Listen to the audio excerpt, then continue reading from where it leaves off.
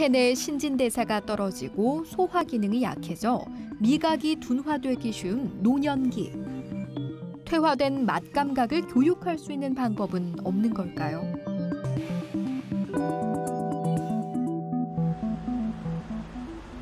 서울 신촌의 한 대학교. 치과대학 내 위치한 미각연구센터에서는 미각인지에 대한 다양한 접근과 연구를 진행하고 있는데요. 특히 고령화 사회에 발맞춰 노인층의 미각 변화에 대한 원인을 규명하고 치료와 연구를 꾸준히 진행하고 있습니다.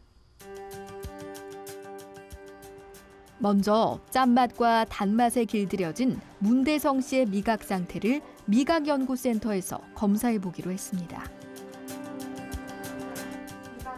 혀가 맛을 얼마나 잘 느끼는지 확인하는 미각 역치 검사.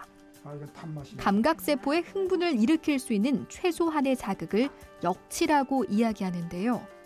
총 4가지 검사를 통해서 미각력을 테스트해 보기로 했습니다. 이번에 하실 검사는 구강의 습 온도가 얼마나 되시는지 습도를 재는 검사예요. 그래서 혀 이용해서 세 번 측정할 거예요. 예. 침 한번 삼키시고 혀 내밀어 보시고 65세 이상 인구의 약 40%가 겪는 것으로 알려진 구강 건조증. 침분비의 감소로 인해 입안이 마르는 증상인데요. 30.3 흔히 나타나는 증상 중 하나가 미각을 느끼기 어려워하는 증상이라고 합니다. 30.6혀 내밀어 보시고 31.5 이번에는 또 다른 검사를 진행하는데요. 문대성 씨 표정이 심상치 않습니다. 지금 하시는 검사는요, 네. 연화력 테스트 검사입니다. 네. 네, 알아듣기 쉽게 말씀드리면요, 어, 30초 동안에 몇 번 삼킬 수 있는지 하는 검사예요. 네. 그럼 지금 바로 테스트 시작하겠습니다. 네.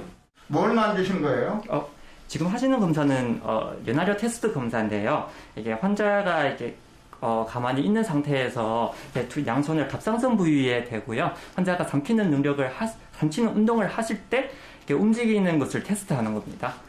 삼키는 게 네, 좀 힘들기? 힘들어요. 네. 그래도 네. 근데 방금은 너무 네, 잘 무리하게. 하신 것 같아요. 그래요? 네. 타액에 의한 윤활작용은 입안의 운동을 원활하게 하고 음식물이 잘 섞일 수 있게 조절해주는 기능을 담당하는데요.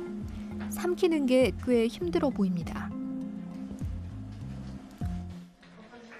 이제 마지막 검사인데요.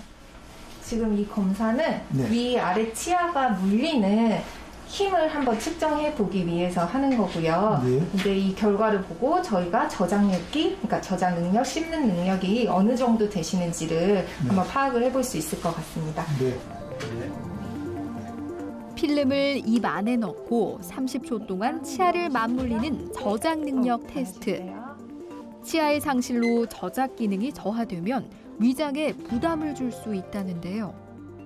이는 소화 불량을 일으킴으로써 만성 소모성 질환의 원인이 될 수 있습니다.